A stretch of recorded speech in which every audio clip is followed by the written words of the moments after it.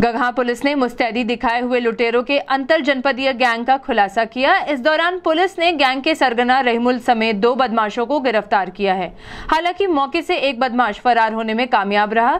वहीं गिरफ्तारी से बचने को लेकर बदमाशों ने पुलिस टीम पर फायरिंग भी की थी, जिस पर पुलिस ने मुस्तैदी दिखाते हुए शातिर बदमाशों को दबोच लिया।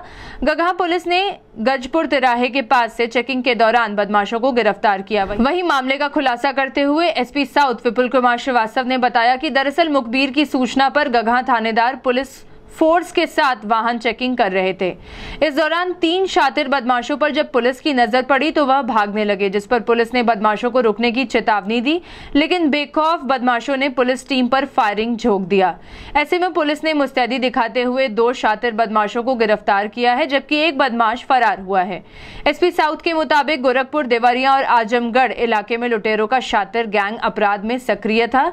इसके साथ में असलह तस्करी के भी अवैध धंधे में लुटेरों का शातिर गैंग लिप्त था। इस संबंध में गोरखपुर न्यूज़ संवाददाता से बात करते हुए एसपी साउथ विपुल कुमार श्रीवास्तव ने कहा।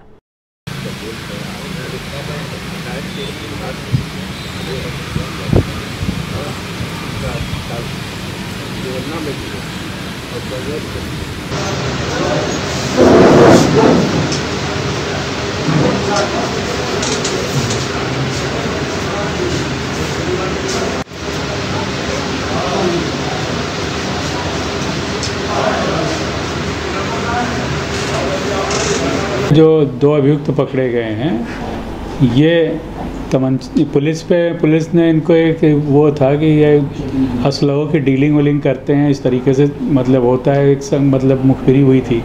उसमें चेकिंग के दौरान ये एक ढाबा है जो कि कौड़ीराम से आ गया है, उसी रोड पे इसको पुलिस मुठभेड़ में इन्हें पकड़ा गया है।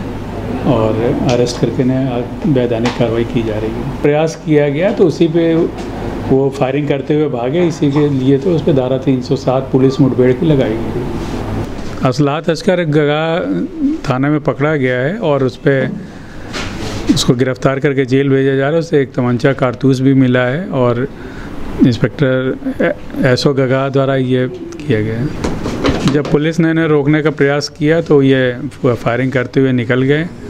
और इसके और भी साथी हैं इसमें। इसका पता कराया जा रहा है कि ये असलाह कहाँ से लाते हैं और इनमें क्या कहाँ कहाँ से इसका स्रोत क्या है, उसे पता कराया जा रहा है।